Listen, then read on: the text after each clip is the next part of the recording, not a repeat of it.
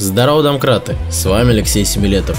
И сегодня мы научимся правильно выполнять жим из ножниц. Если вы еще не подписаны на мой канал, то рекомендую вам сделать это прямо сейчас, чтобы не пропустить новые обучающие видео.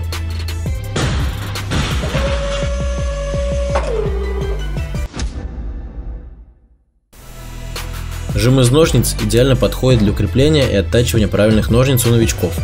Сама по себе задача сжать стоя в ножницах несложная, так как отсутствует какая-либо сложная динамика.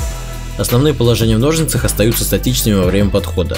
Плюс очень легко контролировать положение ног и углы в коленных суставов, а также включение локтей в положении, когда штанга находится над головой.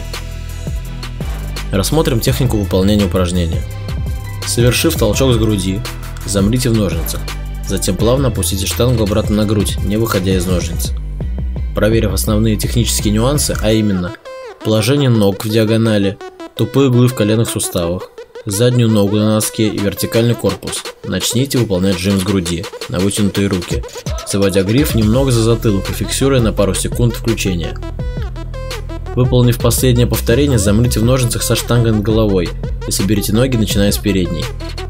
Новичкам я рекомендую выполнять данное упражнение исключительно на объемы, по 6-8 повторений в 3-4 рабочих подходах с весом, комфортным для вас и не вынуждающим помогать немного ногами, то есть не совершать выталкивание как упражнение швунг из ножниц. Ссылочка на него будет вверху. Благодарю вас за просмотр, друзья. Всем желаю здоровья, удачи и новых рекордов.